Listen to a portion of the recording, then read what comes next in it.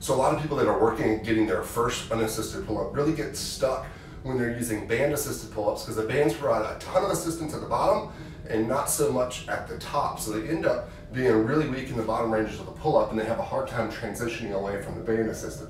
Here's a great drill to work on kind of bridging that gap and getting over the hurdle. I'm gonna set a barbell at about chin height, or I could set a box up so that my chin was over the height of the barbell. Then I'm gonna come onto my tiptoes and lower down. I'm gonna go into a hollow body position here with my pelvis posteriorly tilted, and I'm just giving myself only as much assistance as is needed with my legs to get over the bar. So just the bare minimum assistance that I need to get the job done here.